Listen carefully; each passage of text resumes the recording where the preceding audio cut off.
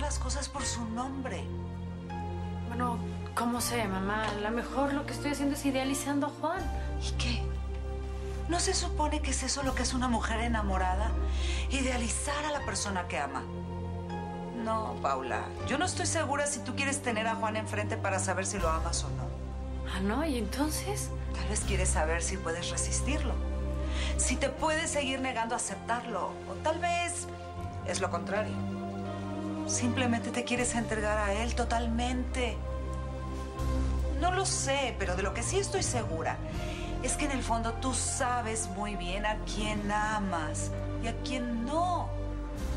Lo que tú tienes, hija, se llama miedo. Muchas gracias por la consulta, señora Ana. ¿Cuánto le debo? Nada, muchas gracias. Ven.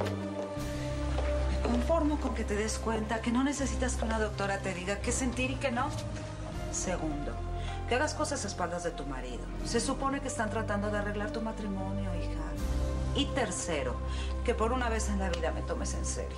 Y entonces tú lo que sugieres en concreto es que yo me... Que dejes de buscar justificaciones para salir corriendo a los brazos de Juan Domínguez. ¡Ay, mamá! No, mamá, nada.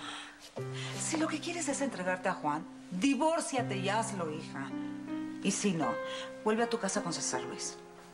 Pero deja de estar jugando al gato y al ratón con tus sentimientos.